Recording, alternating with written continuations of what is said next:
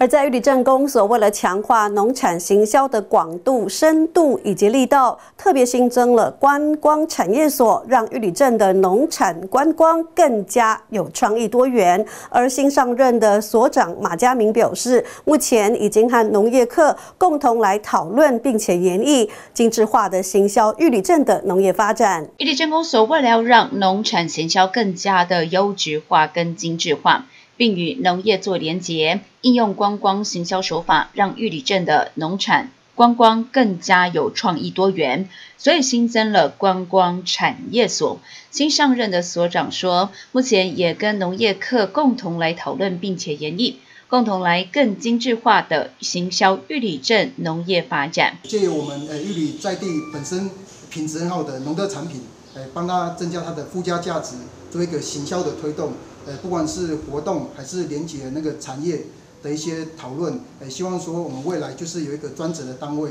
呃，单单为这一个呃这个区块观光产业的部分做一个努力，做一个推动。另外，农业科长说，过去所有的农业推广以及业务都是由农业科来执行，现在有了观光所，就能够单一来执行行销的工作，让农业推展更加的精致化。之前是没有一个很具体的一个。单位来去做一个行销，啊，顺便做一个策略的一个方式的运作。那我相信说，在观光所进驻在我们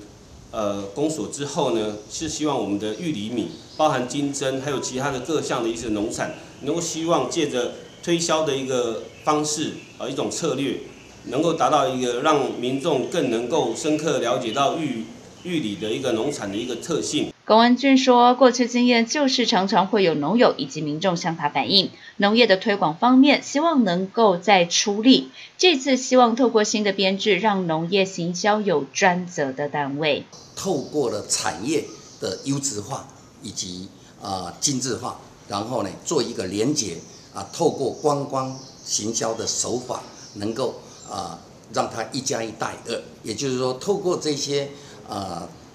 基础的这些产业啊，哈，让它透过未来透过研发、加工以及细切的这些呃手法，让它能够更优质，产生了呃新的生命。然后呢，透过观光的这些行销的技巧，然后让义里镇呢。能够有更多人、更多的利基。农业科及观光产业所密不可分，未来是互相合作及配合，让未来的玉里镇农业以及观光更加有力量。